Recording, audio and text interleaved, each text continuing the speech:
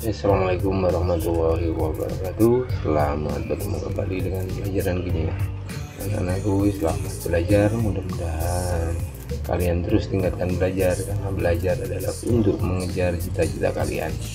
Tanpa belajar maka kalian akan ketinggalan dari teman-teman seusia kalian ya. Pada kesempatan ini kita lanjutkan materi berikutnya yaitu tentang larutan penyangga atau larutan buffer ya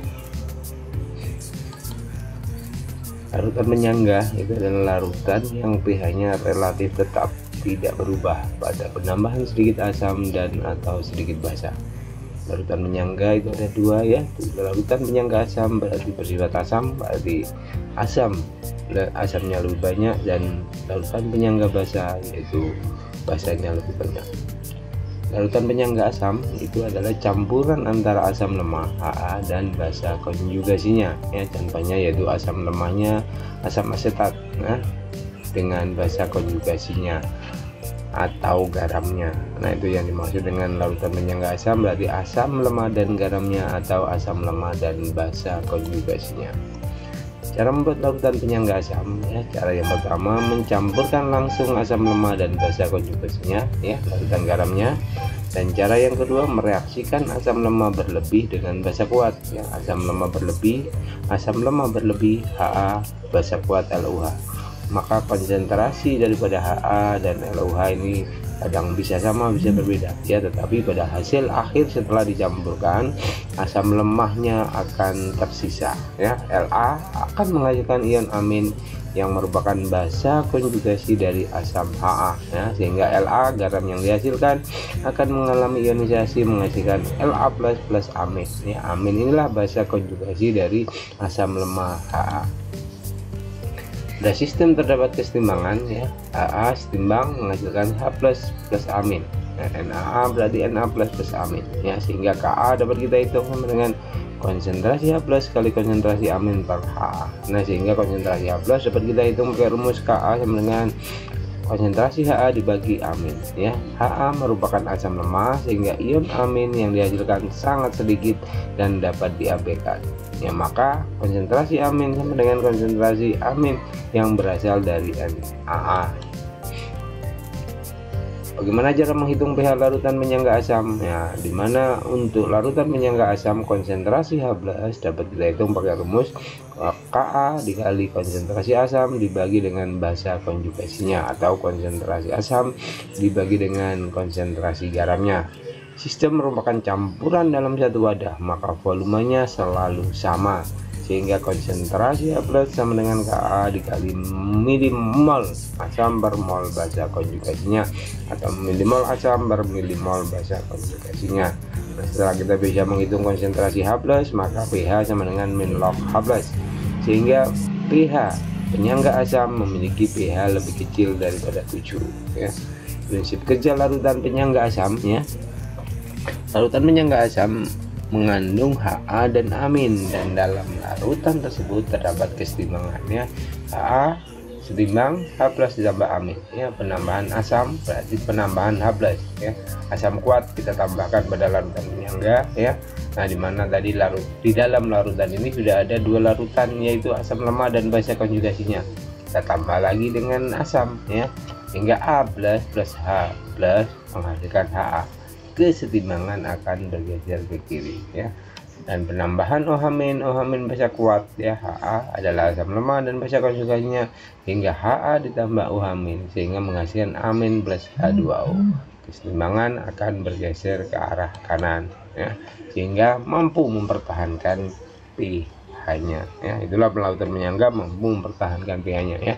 Larutan penyangga basa ya basa lemah BOH dan asam konjugasinya B+ atau garamnya ya. Contohnya itu NH3 ya atau NH4OH ya dan NH4+ atau NaOH dan NH4Cl ya. Basa lemahnya NH3 dan NH4+ adalah asam konjugasi dari NH3 Cara membuat larutan penyangga basah Cara satu mencampurkan langsung basa lemah dan asam konjugasinya. Nah sehingga atau larutan garamnya. Cara dua mereaksikan basa lemah berlebihan dengan asam kuat. Ya ini asam kuatnya ditambah dengan basa lemah berlebih Ya sehingga pada hasil akhir tersisa BOH Ya BX ya ini adalah garam ya. BX adalah menghasilkan ion femin yang merupakan asam konjugasi dari basa BOH sehingga BX ya garam terionisasi menghasilkan B++ X-min ya. Sehingga nah, asam konjugasi daripada basa BOH itu adalah B+ ya.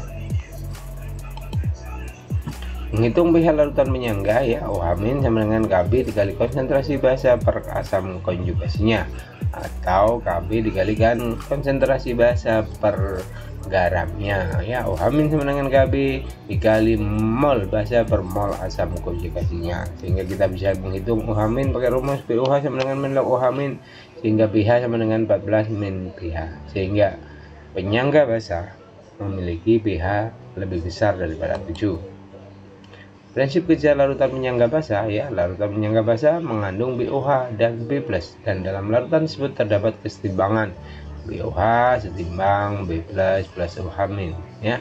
Bagaimana dengan adanya penambahan asam ya, H+, asam kuat, BOH dan B+, ya. Kita tambah dengan H+, ya, sehingga BOH ditambah H+ menghasilkan B+, plus H2O. Sehingga kesetimbangan akan bergeser ke arah kanan hingga mampu mempertahankan pH daripada lautan penyangga ya. Sedangkan pada penambahan basa OH- basa kuat ya BOH B+ ya. Berarti ditambah dengan OH- B++ OH- menghasilkan BOH maka kesetimbangan akan bergeser ke arah kiri dan pH daripada larutan penyangga mengalami perubahan yang sangat kecil sekali.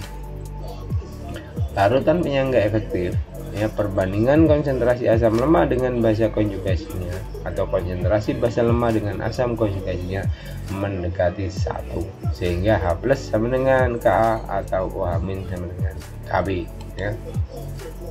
Larutan menyangga itu ada dalam kehidupan sehari-hari yaitu misalnya di dalam darah ya. HCO3 min ya dengan adanya penambahan H+, maka akan menghasilkan CO2 ditambah 2O. Ya. H2CO3 min dengan penambahan basah akan menghasilkan CO2. Adanya ion OH akan bereaksi dengan H2CO3. Adanya asam akan bereaksi dengan ion HCO3 min. Untuk menjaga agar kadar H2CO3 dalam darah tetap, maka diubah menjadi KCO2 dan dibuang oleh paru-paru. Ya.